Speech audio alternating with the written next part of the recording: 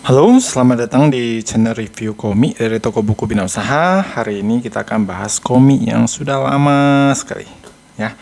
Uh, jadi untuk bulan ini ya, saya nggak tahu kalian yang di luar Medan, tapi di Medan lagi hujan-hujannya, lagi banjir ya. Kemarin sampai banjir masuk toko, tapi untung nggak kena buku, cuma masuk sedikit. Terus banyak temen yang kena covid juga, banyak sakit. Jadi untuk kalian yang di Medan maupun di luar ya, stay safe, sehat selalu. Nah untuk bulan 3 ini kita akan start. Ya sebenarnya kemarin mau start ya, cuman karena capek banget. Jadi hari ini baru kita mulai.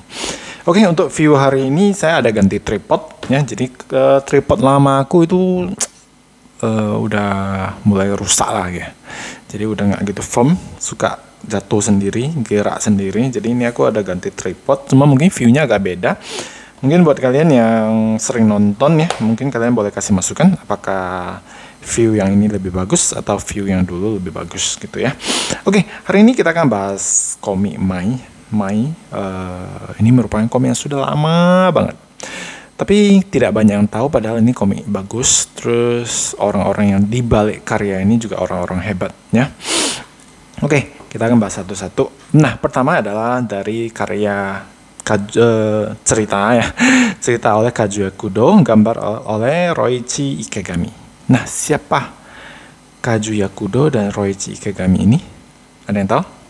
Nah, Kazuya Kudo ini salah satu orang yang pernah kerjasama dengan Naoki Urasawa. Beliau yang buat Pineapple Army jadi kalau kalian tahu ya uh, karya Naoki Urasawa sebelum dia buat sendiri dia pernah kayak kolaborasi lah. Jadi ada yang buat cerita uh, Naoki Urasawa yang gambarnya. Kazuya Kudo ini salah satu orang yang pernah kerjasama dengan Naoki Urasawa. Mereka berdua membuat karya namanya Pineapple Army. Nah, di di cerita ini ya Kazuya Kudo itu kerjasama dengan Roichi Ikegami. Roichi Ikegami dia yang gambar. Nah, salah satu karya dari Roichi Ikegami adalah hit Hit itu dia kerjasama dengan Buronson. Buronson itu yang buat Fist of North Star. Kalian tahu? Ya. Nah, jadi sebenarnya uh, Roichi Kagami ini juga salah satu orang terkenal ya, uh, mangaka yang sangat terkenal. Beliau juga merupakan seorang dosen. Kalau kalian tahu ya Naoki Urasawa juga seorang dosen ya yang mengajar tentang uh, manga ini. Nah, jadi uh, untuk komik ini kita akan sedikit bahas, uh, bahas ya. Nah, Komi ini terbitnya sudah sangat lama. Kalau kalian lihat di sini harganya 2250 ya. Kita lihat dulu ya terbit tahun berapa.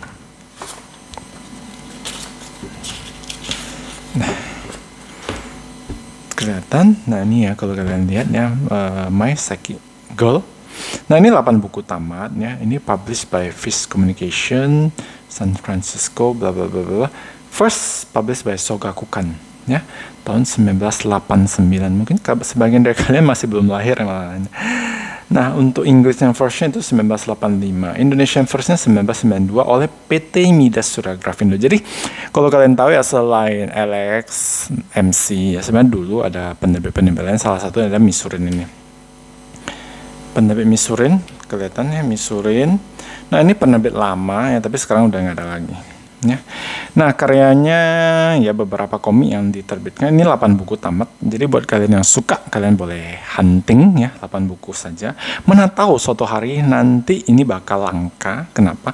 Karena Tim Burton, Tim Burton itu pernah mengambil cerita ini tapi sampai sekarang ya belum di, dijadikan film ya. Tapi kalau sempat dijadikan film ini bakal langka. Nah, untuk gambar ya, memang gambarnya jadul ya, cetakannya juga lama ya, tapi saya rasa gambarnya bagus. Kalian boleh lihat sendiri.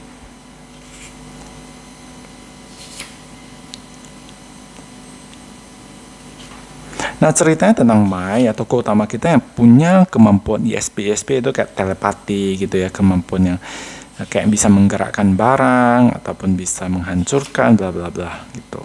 Nah, jadi ceritanya ada Mai ini yang punya kemampuan khusus di mana ada organisasi-organisasi yang mau me menangkap Mai untuk menggunakan kekuatannya. Jadi dalam proses itu ya ayahnya hilang. Jadi si Mai ini juga berusaha untuk mencari kembali ayahnya dan membalaskan dendam. Jadi contohnya kayak gini. Contoh. Hmm. hmm. Jadi seperti ini.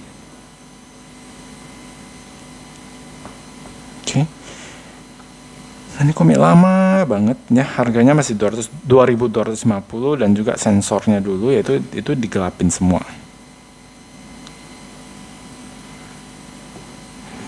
Oh ini enggak sih. Tapi setahu gua bentar ya kita cari sensornya ya. Jadi sensornya seperti nah kayak gini. Biasanya digelapin dihitamin semua. Nah ini komik lama banget saya rekomend sih ceritanya bagus ya nah kalau kalian lihat di sini ada biodata ya tentang pengarangnya ya Reichi Kagami lahir tahun 1994 di Fukui, Jepang, memulai gambar komik pada usia 17 tahun. Nih, oke. Terus ini Kazuya Kudo, ya. Lahir di Hokkaido, pulau paling utara Jepang, 1941 sejak memulai debut sebagai penulis komik pada tahun 1975. Bla bla bla. Nah, selain Mike, karya lain yang terkenal adalah Pineapple Army, pelukis ya, maksudnya ilustratornya ataupun yang gambar Naoki Urasawa. Kalian tahu kan Naoki Urasawa siapa?